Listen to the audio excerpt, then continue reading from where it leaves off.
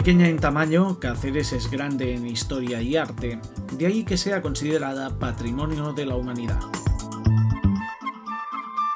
Por la Plaza Mayor se entra en el conjunto monumental, protegido por una muralla de origen romano. En el mismo baluarte está la Torre de Bujaco, que hoy alberga un centro de interpretación.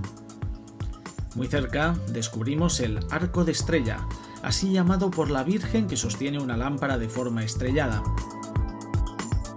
En la plaza también se alza el ayuntamiento.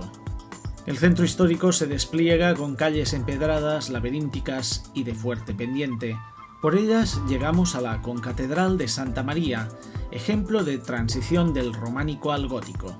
Merece la pena visitar el retablo de la Asunción y la capilla de los Carvajal. La panorámica desde el campanario es muy recomendable. De allí encaminamos nuestros pasos hacia la Plaza de San Jorge. A un lado está el Palacio de los Golfines de Abajo, donde durmieron los reyes católicos, y del otro destaca la iglesia de San Francisco Javier.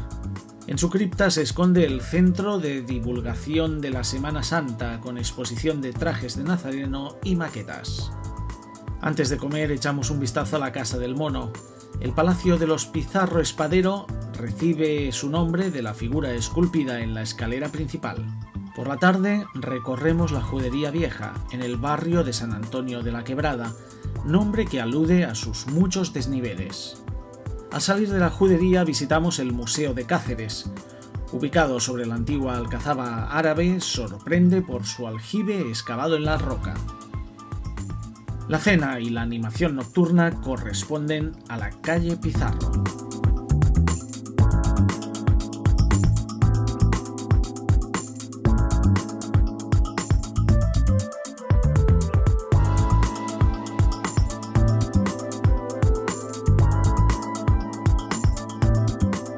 El nuevo día empieza en el Parque del Príncipe con su invernáculo y su colección de plantas exóticas y carnívoras.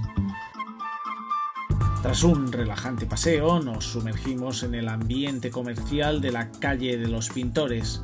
Esta vía peatonal ha evolucionado de los talleres artesanales a las marcas internacionales.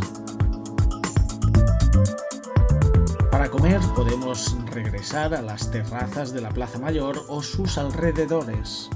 Después, un último paseo por el centro histórico y la zona alta nos llevan a la calle ancha, donde se halla el Parador Nacional, formado por la unión de dos palacios del siglo XIV. En este punto llega el momento de desplazarnos a las afueras, al santuario de la Virgen de la Montaña. Ubicado en la Sierra de la Mosca, tiene una sola nave y fue edificado en el siglo XVIII. Las vistas sobre la ciudad son excelentes, en especial a última hora del día.